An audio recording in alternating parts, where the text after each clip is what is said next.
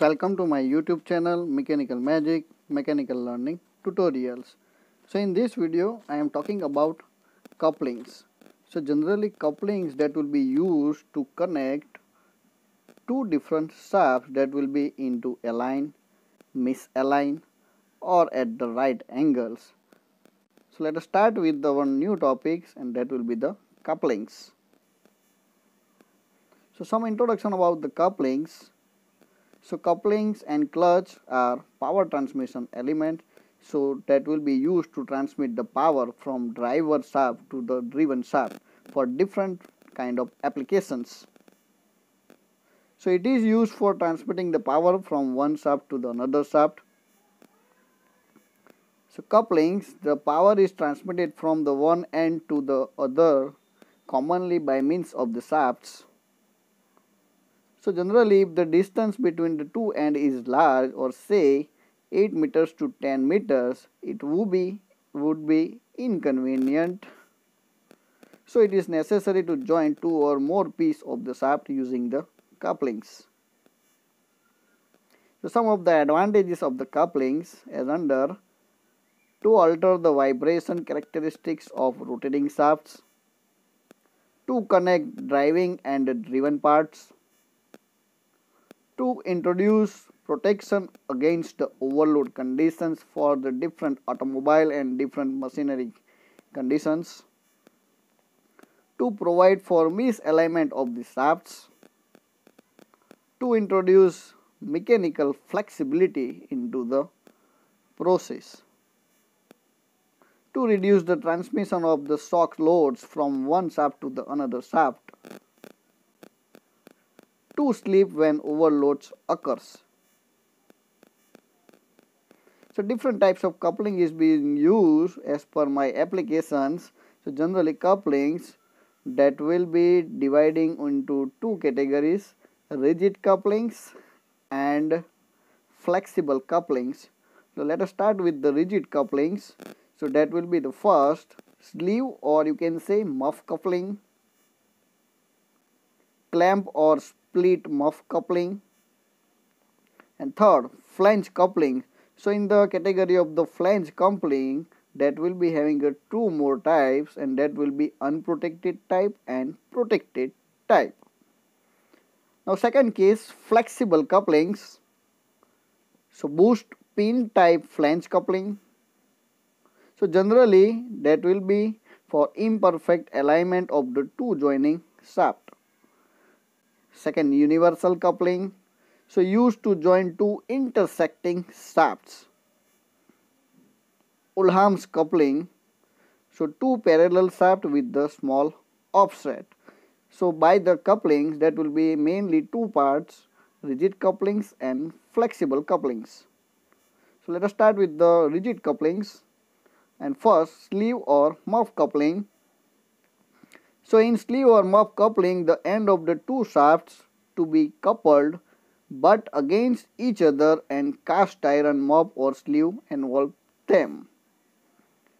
And a gib-head sunk key is used or you can say in simple way one key is provided to hold the sleeve and the shaft together thus the forming of the rigid couplings. So let us see onto the figure. So here shaft A and shaft B and that will be coupled with the help of sleeves that will be around the periphery of the both the shaft and with the application of the key that will be providing the rigid joint between two shafts. So just you can see over here that will be the three dimensional view of the muff coupling or sleeve muff couplings and from the two dimensional view two different shaft A and B that will be connected with the help of key and muff. So that will be providing the rigid coupling for the aligned shaft for driver and driven shaft. So just you can see such kind of coupling is being used and that will be called as a muff coupling. Sleeve split coupling second one. So here that will be total sleeve that will be into the two parts. So muff that will be having a two parts and that will be connected by the fasteners. Just you can see from here shaft number A and shaft number B samely as we discussed into the previous muff coupling. So with the application of feather's key that will be connecting the two different shaft A and B. And with the application of nut and bolt assembly that will be providing a good rigid connection between two different shafts. So just you can see over here so one driven shaft driving shaft and with the application of two different part or you can say split muffs is being used to connecting a aligned shaft for transmitting the power from driver pulley to driven pulley or you can say driver shaft to the driven shaft.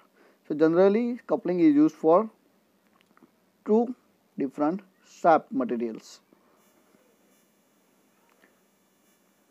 So in the case of the split muff coupling, the split muff couplings muff is splitted up in the two semi-cylindrical halves as we discussed which are held together by means of the square-headed bolts and nuts. Thus the coupling is done by the feather's key. The advantage of this coupling is that it can be placed directly anywhere onto the shaft. Flange coupling so it consists of the two similar cast iron flanges to which the shafts are keyed with the help of taper keys. The machine flanges are then tightly held together by exact fitting bolts into the holes. So just you can see the figure of the flange coupling and that will be the category of the unprotected. So here it will be the shaft number A and shaft number B. And two different keys is being used as from the front view of this diagram. So key number 1 over here key number 2 and that will be having a two different hubs or can say flange is being used for connecting or two different shaft and that will be connection is provided with the help of nut bolt assembly so bolt and nut that will be the outer side. So that will be make a unprotected type of coupling of the two different shafts. So just you can see unprotected type of flange coupling. So that particular nut and bolt assembly it will be directly you can see onto the coupling area. And for the protected type that will be inner side of the flange so that will be not making any trouble during the operations or it will be not making any kind of accidents during the connection of the two different shafts. So that will be the protected type. Just you can see from the figures shaft number A and shaft number B that will be connected by the application of two different keys and flange number 1 and flange number 2 that will be connected with the help of nut and bolt assembly just the difference from the unprotected to protected. So in the case of protected shroud is providing at the flange. So that bolts and nut that will be the inner part. So there will be one kind of protection is providing into the machines. So considering a protected type of flange coupling.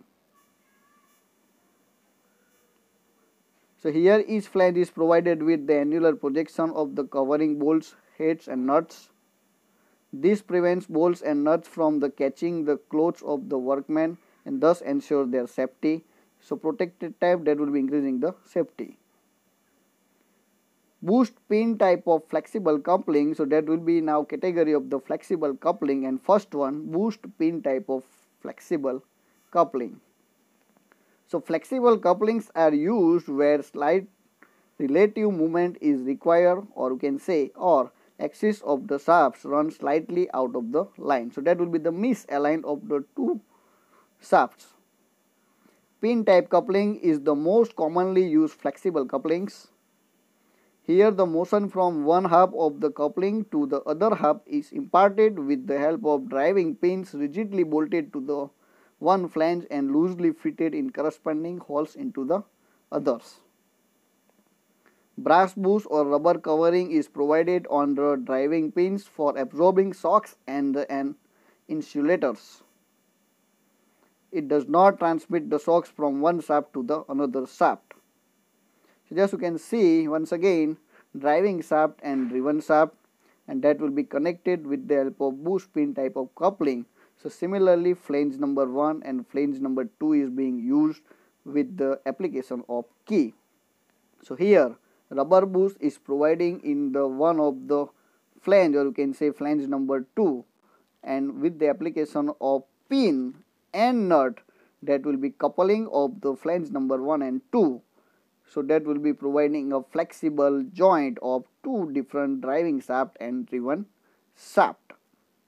So this rubber bush that will be providing the absorption of the shock and that will be in the case of misaligned of the shafts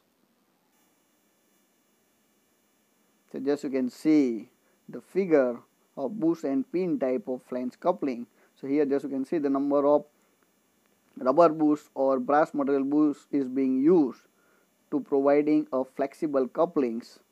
So that will be reducing the vibrations for the from the power transmission from the driver shaft to the driven shaft.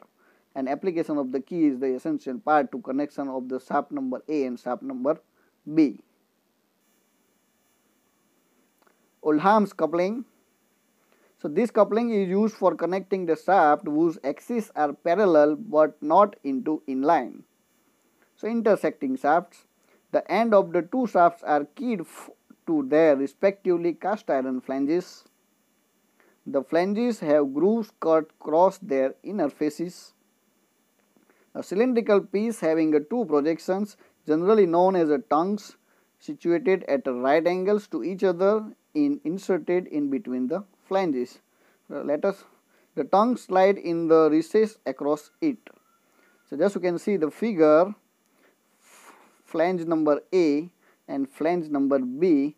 So you can see from the figure flange number A that will be having a female member and in between that will be the floating disc E.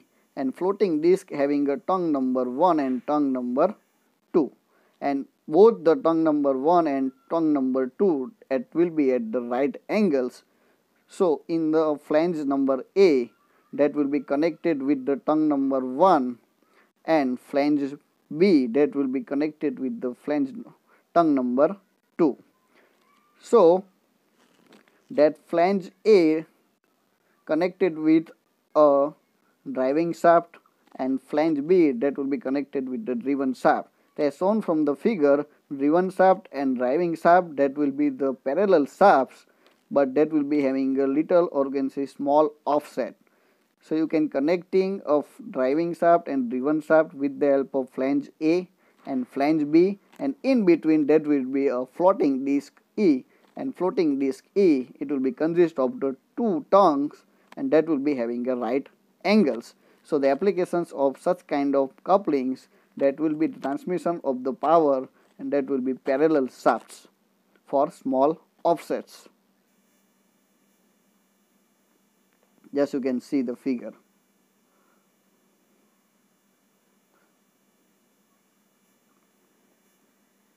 Universal couplings.